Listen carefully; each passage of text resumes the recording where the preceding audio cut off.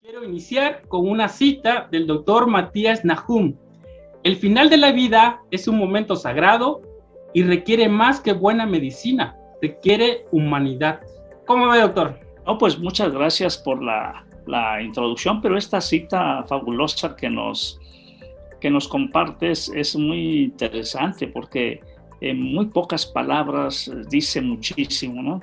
Eh, habla sobre ese momento que de repente nadie quisiera que llegara, nadie pensamos en ello y además a mucho nos causa alguna cierta preocupación y por eso tratamos de irlo dejando, postergando o en el menor de los casos, pues olvidarlo para después.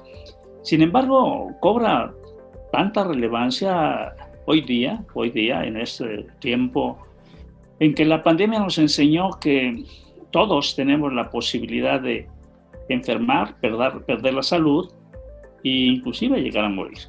Sin embargo, eh, la visión que se pone en esta cita tan interesante habla de un aspecto humanista fundamentalmente.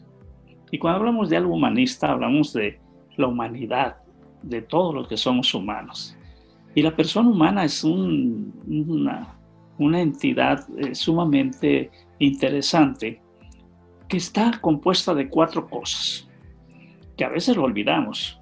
Una parte biológica, el cuerpo y todo su funcionamiento, una parte psicoafectiva, las emociones, una parte social, la parte cómo nos relacionamos entre todos, y la parte espiritual.